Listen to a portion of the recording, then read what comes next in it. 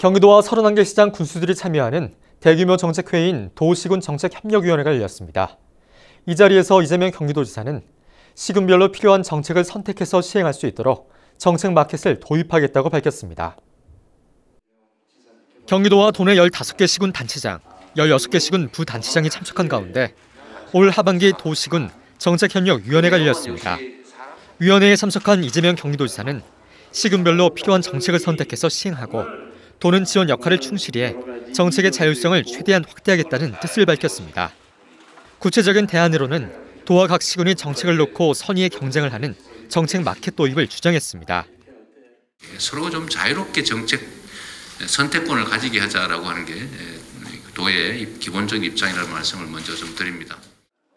이재명 지사는 또 경기 동북부 지역에 대한 지원 확대 의지도 밝혔습니다. 지역 간 불균형을 해소하는 것이 공정의 가치에 부합한다며 이들 지역을 정책적 재정적으로 고려하겠다고 말했습니다.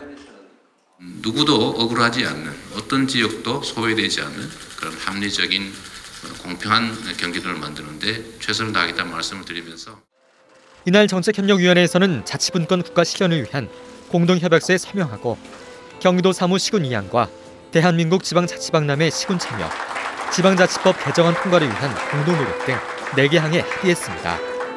경기도는 시군과의 공동정책 논의를 통해 도가 가진 사무권한 34개를 시군에 넘겨줄 방침입니다. 또 경기도가 추진 중인 노동자 쉼터 확대와 경기도에서 처음 열리는 제7회 대한민국 지방자치박람회, 도시군 연계 강화를 통한 경기도 중앙협력본부 확대 방안에 대한 시군의 적극적인 참여를 요청했습니다. 경기슈 TV 최창순입니다.